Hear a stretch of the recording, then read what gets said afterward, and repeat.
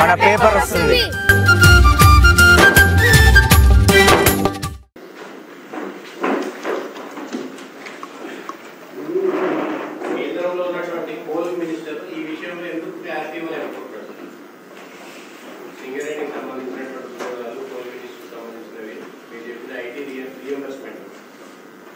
ఇప్పుడు ఇష్యూ నేను మళ్ళీ చెప్తున్నా.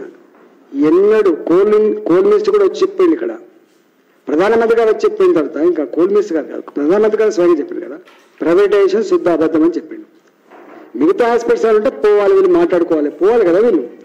వీళ్ళు తీర్మానం చేసి పంపిన అసెంబ్లీలో సింగరేణి కార్మికులు వాళ్ళ జీవన మరణ సమస్య ఉంటుంది కాబట్టి రిస్క్లో పనిచేసేవాళ్ళు పనిచేసే వాళ్ళు కాబట్టి వాళ్ళు ఇన్కమ్ ట్యాక్స్ రద్దు చేయాలి. ఎందుకంటే ఆర్మీకి ఎట్లయితే రద్దు చేసిందో వాళ్ళు రద్దు చేయాలి. కోల్ ఇండియాలో రియంబర్స్మెంట్ ఉంది మరి మనం కూడా ఇచ్చుకోవచ్చు కదా. ఇంత రిచ్ కంపెనీ అయినప్పుడు. రెండవది కోల్ మినిస్ట్రీ కోల్ మినిస్ట్రీ దానికి ఒక చట్టం ఉంది దాని చట్టం ప్రకారం ఫాలో అవుతుంది. మీకు తెలుసు మీకు కమిటీ ఇస్తాను మీ పేర్లు. కమిటీలో ఎవరెవరు ఉంటారు మీరు ఒకసారి చూడండి. రాష్ట్ర ప్రభుత్వం నియమించిన ఐఏఎస్ ఆఫీసర్ దానికి ఎండి ఉంటాడు. గుర్తుపెట్టుకోండి. ఏడు సంవత్సరాలు మూడు ఏడు సంవత్సరాలు అన్నాడు అసలు నిబంధనలకు విరుద్ధం. జనరల్గా సీఎండీ అంటానే మూడేళ్ళు నా కంటే ఎక్కువ ఉండదు. కానీ సెవెన్ ఇయర్స్ ఉంచుకున్నాడు. అన్ని రకాల అతిక్రమలకు పాల్పడుతున్నది రాష్ట్ర ప్రభుత్వము. దాని మీద సంపూర్ణంగా పెత్తనం చేస్తున్న రాష్ట్ర ప్రభుత్వము. దాన్ని పిండుకుంటున్నది రాష్ట్ర ప్రభుత్వం కానీ దాన్ని బాగు చేస్తుంది అయితే రాష్ట్ర ప్రభుత్వం కాదు.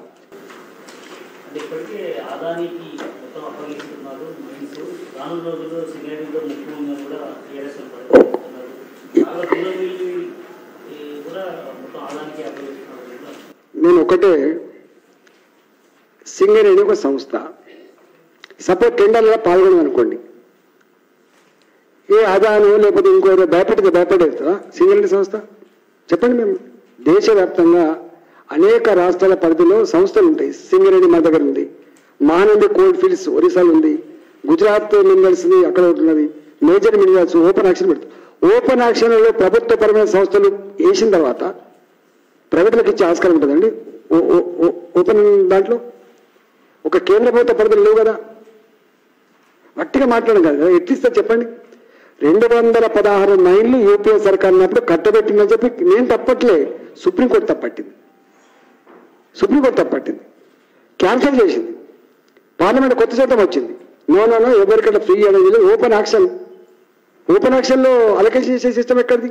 ఇంకా ఎవరు కావాలన్నా ఓపెన్ యాక్షన్ పాల్గొనవలసిందే అదాని కావచ్చు అంబానీ కావచ్చు రేపు కొన్ని సింగరేణి కంపెనీ కావచ్చు. వచ్చే రాయల్టీ ఎవరు ఎవరు తీసుకుంటారు రాష్ట్ర ప్రభుత్వం తీసుకుంటే కేంద్ర ప్రభుత్వం తీసుకుంటుంది ఒకవేళ బహిరంగ చర్చకు రాకపోతే టిఆర్ఎస్ బీఆర్ఎస్ ప్రభుత్వం అబద్ధాలు ఆడుతుందని? వంద శాతం. వంద శాతం.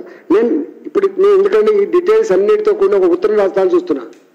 నేనే మొత్తం దీని మీద ఒక డీటెయిల్డ్ రిపోర్ట్. వాళ్ళ కనుక రాకపోతే డీటెయిల్డ్ రిపోర్ట్ పంపిస్తాను సింగరేణి ప్రైవేటైజేషన్ చేస్తున్నది వాస్తవమా చెప్పమని చెప్పండి అంతే. కోల్ మైన్స్ కోల్ మైన్స్ పొందాలంటే ఆక్షన్లో పాల్గొనమాట వాస్తవం. ఎప్పుడు వచ్చింది రెండు వేల పదిహేను చట్టం వచ్చింది. దానికి ఎవరు మద్దతు ఇచ్చిండ్రు? టిఆర్ఎస్ పార్టీ కూడా మద్దతు ఇచ్చింది. టిఆర్ఎస్ పార్టీకి మద్దతు ఇచ్చింది.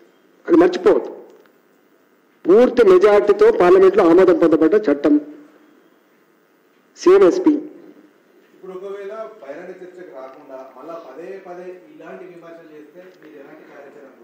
వాళ్ళు ప్రజాక్షేత్రంలో తెలుసుకోవాల్సిందే కదా. అంతిమ న్యాయం ఏంటో ఎవరు ఉంటారు వాళ్ళు చెప్తారు మేము చెప్తాం అంతిమంగా జడ్జ్ చేసుకుని ప్రజలు మీకు వాళ్ళు కూడా నోటీస్ ఇస్తా.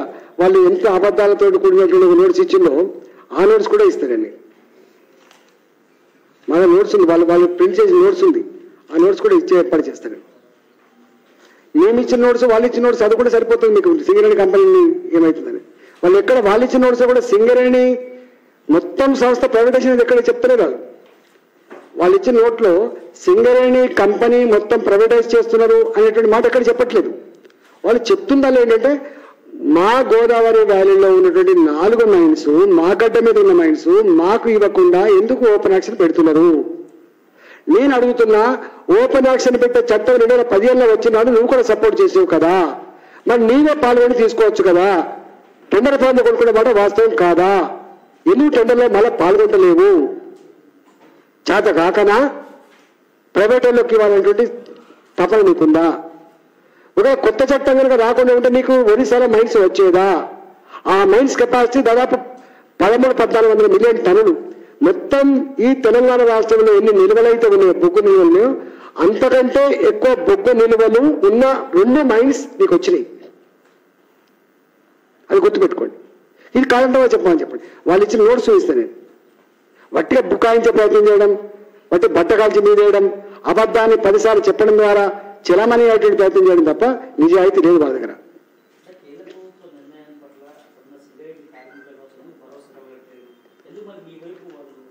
వంద శాతం సింగరేణి కార్మికులని సింగరేణి కార్మికులకి మొత్తం తెలుసు. టిఆర్ఎస్ పార్టీ ఏం చేస్తుంది? కేసీఆర్ ఏం హామీలు ఇచ్చిండు?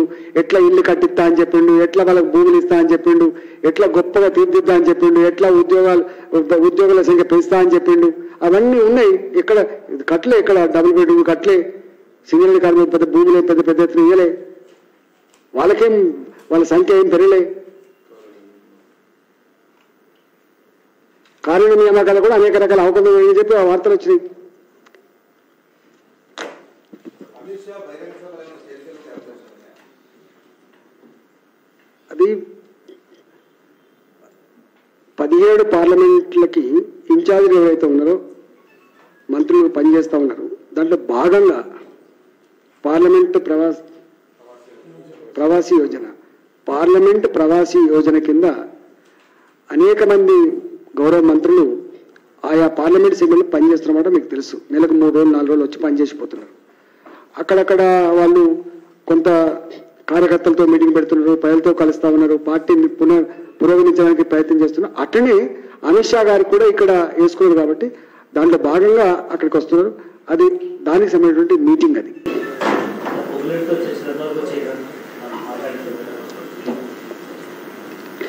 చర్చలు నా బాధ్యత ఉంది. నాది చేరికల కమిటీకి సంబంధించిన బాధ్యత. వంద శాతం ఎవరైనా వస్తా అనుకుంటులతోటి వస్తా అనుకున్న వాళ్ళు కావచ్చు న్యూట్రల్గా ఉన్నవాళ్ళు కావచ్చు వాళ్ళతో మాట్లాడుతూ ఉంటాం. మాట్లాడుతూ ఉంటాం. వాళ్ళు చిన్న పిల్లలు కదా రాజకీయ నాయకులు అనే వాళ్ళు వాళ్ళ రాజకీయ భవిష్యత్తు ఎక్కడ ఉంటే బాగుంటుందో అట్లా ఆలోచిస్తారు వాళ్ళు. అక్కడ ప్రజలు ఏం కోరుకుంటున్నారు ఒకటి రేపు ప్రభుత్వం వచ్చే ఆస్కారం ఉన్నది రెండు కేసీఆర్ ఓడగొట్టగలి ఇవన్నీ పారామీటర్స్ ఉంటాయి కాబట్టి ఇవన్నీ అసెస్ చేసుకుంటారు. వందకు వంద శాతం ఒకటి మాత్రం సత్యం. రాబోయే కాలంలో తెలంగాణ రాష్ట్రంలో పురోగమించే పార్టీ భారతీయ జనతా పార్టీ మాత్రమే. మీకు తెలుసు ఇలా మీకు మునుగోడు ఎన్నికలు ఉన్నాయి. మునుగోడు ఎన్నికల పూట కాంగ్రెస్ పార్టీ డబ్బులు పంపించలేదా టీఆర్ఎస్ పార్టీ. చెప్పండి. అడగండి మీరు. ఆ గుడ్డ మీద చేసుకొని చెప్పమని చెప్పండి. రెండవది రెండవది ఇవాళ కూడా మీరు ఎక్కడైనా కాంగ్రెస్ పార్టీలో చిన్న జరిగితే ఫస్ట్ స్పందించే వాళ్ళు ఎవరైనా చూసినా మీరు? కేసీఆర్ గారు స్పందిస్తారు కేసీఆర్ గారి మంత్రులు స్పందిస్తారు. ఎక్కడో కాడ ఎన్నికల ముందు పెట్టుకుంటారా ఎన్నికల తర్వాత పెట్టుకుంటారా కానీ వాళ్ళు బొ- నాణానికి బొమ్మ బరుసు లెక్క ఒక దిక్కు ఉండడానికి స్కోప్ ఉంటుంది తప్ప ఎంత బుకాయించినప్పుడు కూడా మీకు తెలుసు నేషనల్ పార్టీస్ ఎట్లా ఉంటాయి ఢిల్లీ కేంద్రంగా చూస్తారు తప్ప ఆలోచన ఆలోచన చేస్తారు తప్ప ఈ ఒక రాష్ట్రం ఏమైందని ఆలోచన ఉండదు. నాకు తెలిసి అంటే నేను ఎవరిని కించపరచట్లేదు ఎవరిని ఆరోపణ చేయట్లేదు కానీ వంద శాతం మునుగోడులో కాంగ్రెస్ పార్టీకి ఇరవై ఐదు కోట్ల రూపాయలు పంపించినది జగమైన సత్యం. దానికి లెక్కలు ఉంటాయా పత్రం ఉంటుందా దానికైనా ఎవిడెన్స్ చూపిస్తాను నేను? చెప్పండి. ఇది నేను చెప్తే నేరమైతే కావచ్చు ఎందుకంటే ఎన్నికల ఖర్చు పెట్టాల్సింది ముప్పై లక్షల రూపాయలు కదా ఇరవై లక్షలు మరి వందల కోట్ల రూపాయలు. స్వయంగా అంటే ఎంత ఇన్సల్ట్ సంబంధించిన అంశం అంటే స్వయంగా ప్రజలే నాకు ఓట్లకు పైసలు రాలేదు ఇంకా నేను పోలింగ్ బూత్కు పోలేదు నాకు వచ్చి పైసలు ఇస్తేనే పోతా అంటాను నథింగ్ సీక్రెట్ అక్కడికి వచ్చింది ప్రజాస్వామ్యం మళ్ళీ. ఎన్నికల కమిషన్ ఉన్నది. అటానమస్గా పనిచేస్తుంది చర్యలు చేపడుతుంది కానీ నా హుజరాబాద్ ఆరు వందల కోట్ల రూపాయలు ఖర్చు పెడితే కూడా మరి ఏం చర్యలు లేవు. మీకు తెలుసు రోడ్ల మీకు వచ్చిండు. మునుగోడులో హుజరాబాద్లో పరాకాష్ట. ఎవరు ఎక్కువ పైసలు ఇస్తే వాళ్ళకే ఓటేస్తాం. ఎవరు చెప్పిండు మునుగోడు పైసలు చెప్పిండు. ఓపెన్ చెప్పిండు అవన్నీ మీ దగ్గర ఉన్నాయి.